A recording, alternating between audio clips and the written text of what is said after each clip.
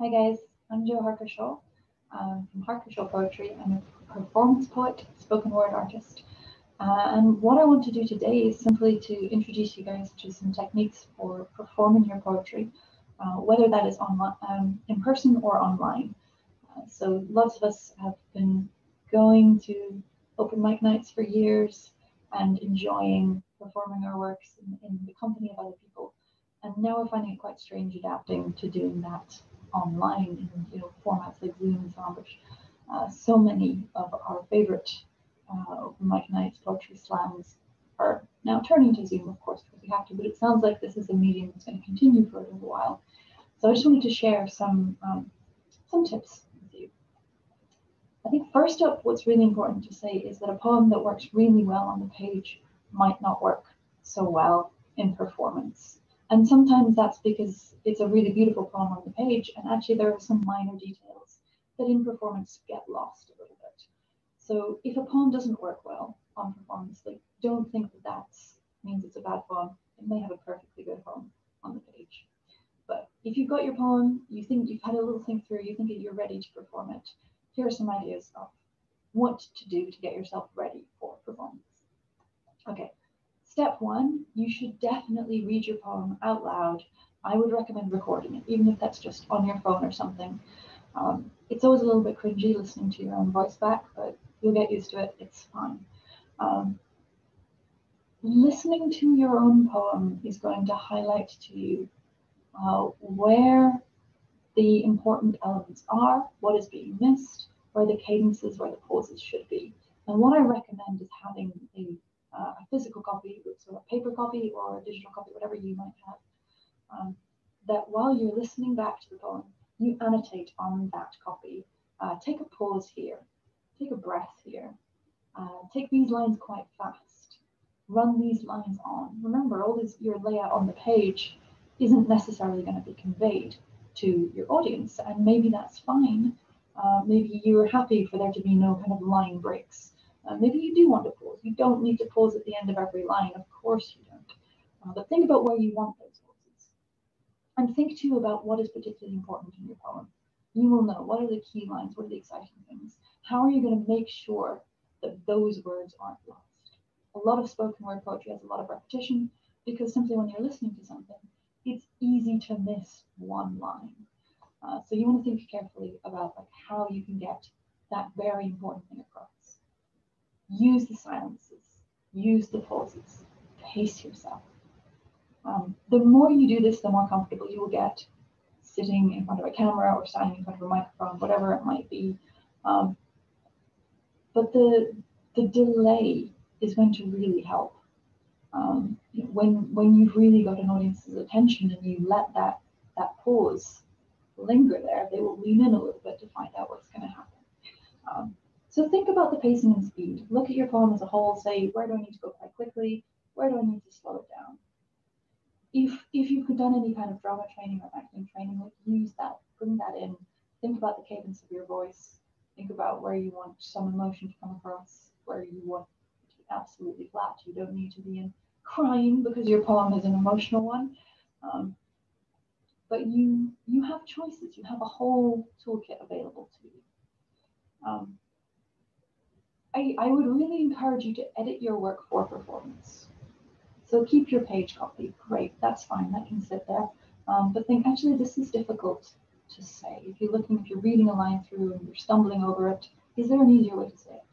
Are there rhymes that work in your accent that might not work in other accents that you haven't put in for that very reason? Well, you can put them in down because it's a performance. Um, treat it as something separate. Like many, many kind of great, um, great spoken word poets, people like uh, Joelle Taylor, who I'm a great fan of, have um, a page version, a version that will be published, and then perhaps perform a different version on on a certain night. That's absolutely fine. One thing I would really recommend is to memorize your poem as much as you can. Um, we can, most of us, memorize these things. And, and again, if you've got any acting training, acting history, whatever it might be, uh, that's going to come in really helpful here. But even if you don't, even if you think it's impossible that you're going to be able to get up there and perform without having a copy of the poem to hand, if you have memorized as much as you can, you're going to be engage, able to engage with your audience, your viewers, so much more. Um, if you just need to glance down every now and then to check maybe what's the next line, what's the next verse, or even if you just want that physical copy as a reassurance, that's fine. Um, but if you can look up and engage with your audience, uh, that's going to make things so much better and so much more exciting. Um, I think like memorizing can be an intimidating thing. Um, and, and I think people do want to have a copy to cling to, but I think what I would really want to stress there is that um, make the copy that you're clinging to look nice. don't be don't be frightened to look up. Um, have, so have the thing. I, I I personally am always kind of like, okay, maybe don't bring your phone up. Um, I, I don't personally like uh, this style of performance where someone is looking at their phone and reading off their phone. Um, it, it can be a style if that's if that's kind of something you make that a choice. If that's something you want to do, make it a choice. Um, I, I tend to kind of try and bring a, a, a nice book if I'm reading something. I would one I'll write it out because that helps me to memorize it and I can write it nice and big. Um, you know, make sure you can actually read the poem. Don't just bring printed copy that's really, really small. I'll write it nice and big. I'll write things in different colors to kind of remind me where my emphasis should be. Um, but I will always put that in a nice book of some sort or something that kind of I feel matches the aesthetic of what I'm trying to do in this time. Um, which kind of brings me on to talking about aesthetic as a whole. Um, if you are performing on Zoom, think about your background or Zoom, you know, other platforms are available, um, and any kind of uh, online thing. You know, think about where you are. It would be lovely if we all have beautiful, glamorous backgrounds, sure. Um, but if you can just sort of take uh, a few minutes beforehand to just think, okay, what is the lighting like? Can, can people see me? Uh, what is my background going to be here? I don't have a particularly exciting background, but I have my books, I have my beautiful flag. Um, that to me feels quite comfortable. If I see myself on the screen, which one of the frustrations of, of these things is that unfortunately we are confronted with our own image so much. Um, I kind of feel all right there. I'm, I'm quite centered within the screen as a whole. Um, yes, I am sitting in an odd place. I think that's something to say. This is not where I would normally sit in this room. Uh, but I've taken just some time to sort of look at what's going to be around me and position myself within the space. Um, some quick tips, you know, if you just are in a small bedroom, you don't have a great amount of space to move things around, just a nice scarf or a nice throw over the background over, you know, just your, your chairs and your laundry and stuff. That's just going to give things, um, make things look a little bit nicer. A well-placed ornament or something can give a, a focal point that would be really pleasant. Um, but really importantly, as you're as I'm saying this, is also to get comfortable.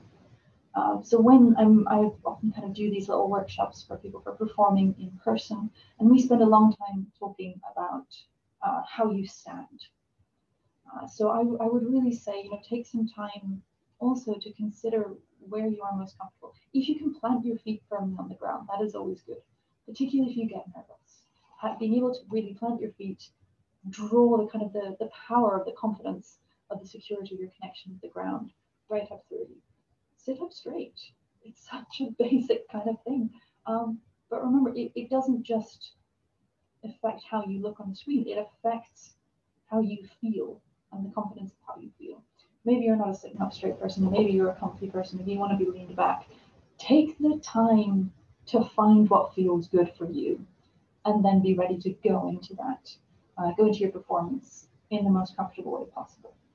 Because the more comfortable you are, the, uh, and comfortable not simply in how your back's feeling, but comfortable in terms of yourself, your confidence, your, your general readiness to perform.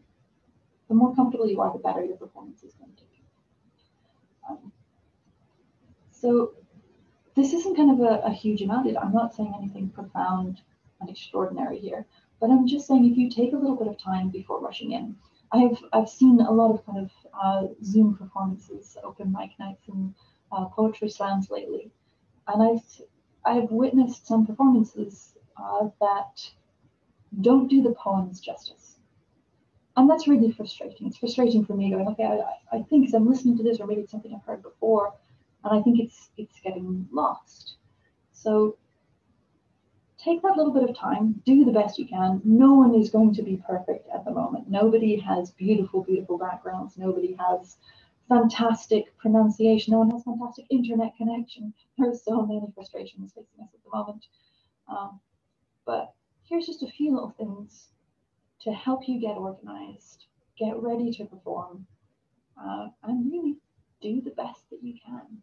Uh, performing is a wonderful thing. Uh, for those anyone who's kind of new watching this and you're new to performing your poetry, I cannot urge you enough to do so. Um, I, have been sharing my poetry for a very long time now, and I have published works, I have works in magazines. Um, by far and away, you know, I, I, put things on, on Facebook and Instagram and so on, but by far and away, the most rewarding thing is performances. And it's in performances that people kind of come and talk to me and say, wow, I liked that. Oh, this poem made me think of this. And, and that is the most fantastic thing as a poet to hear those responses, to hear people saying, I have heard your poetry and it has touched me. That's what we all want. So be bold, you know, put your poetry out there and be ready for people to respond to it. It's, it's wonderful and it's worth it. Um, so that's me. If you have any kind of questions or suggestions at any point and you're looking at performing yourself, please do get in touch. I'm really interested in helping people out with um, with the development of